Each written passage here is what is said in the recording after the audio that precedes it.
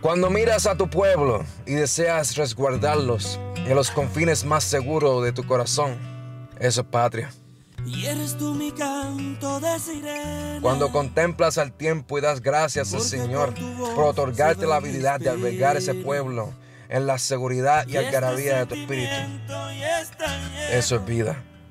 Cuando sin restricciones o temores comprendes el amor que puedes otorgar como diásporas en bendita misa a todo lo que valores. Para demostrarte que sirven tus ideales. Somos humanos, aunque no pensemos iguales. No nos tratemos ni dañemos como animales. Esta es mi forma de decírtelo. Llora mi pueblo y siento yo su voz. Tu 59, yo doble 2, 60 años, trancada al dominó. Ah, bombo y platillo a los 500 de La Habana. Mientras en casa las cazuelas Eso ya no tienen jamás. es libertad. Que celebramos si la gente anda deprisa. Y estos valores van de mano en mano, uno con el otro, como el linaje de una familia, estrechados a veces pero nunca fundidos, para formar un país, un territorio vivo y cantante, con armonía.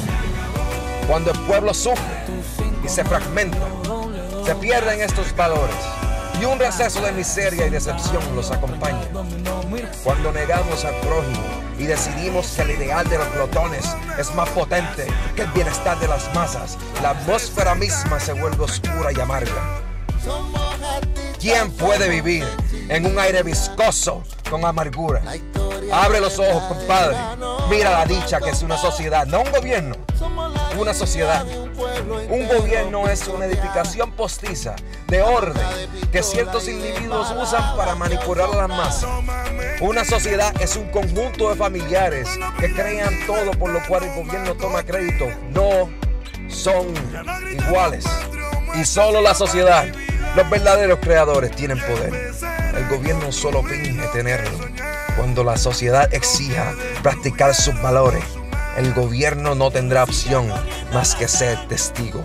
Alenta el fuego de valores que nos mantiene unidos o enferma de hediondos delirios, síntomas sin refugio, de un pueblo sin rumbo, sin los valores que son patria, vida y libertad.